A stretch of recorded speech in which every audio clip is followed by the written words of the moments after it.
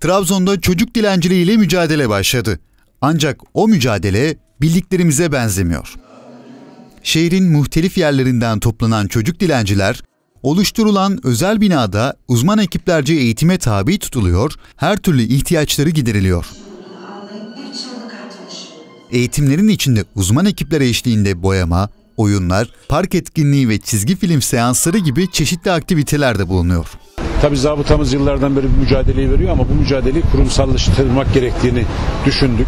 Trabzon Büyükşehir Belediye Başkanı Murat Zorluoğlu, Misafir Çocuklar Merkezi İşbirliği projesiyle şehirde çocuk dilenciliği %60 oranında azaldığını söyledi. Yaklaşık 2-3 aylık bu çalışma neticesinde Trabzon genelinde dilenci sayısında %60'lık bir azalma olduğunu da memnuniyetle ifade etmek istiyorum. İnşallah daha etkin bir mücadeleyle bundan sonraki süreçte bu kalan %40'ı da e, bu dilencilik faaliyetinden men etmek istiyoruz.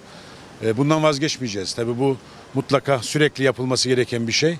Artık Trabzon bu dilenciler bir şebeke biliyorsunuz. Bu böyle tek başına insanlarımızın bir takım hassas duygularını istismar ediyorlar ama öyle değil. Bunlar bir bir bir, bir şebeke.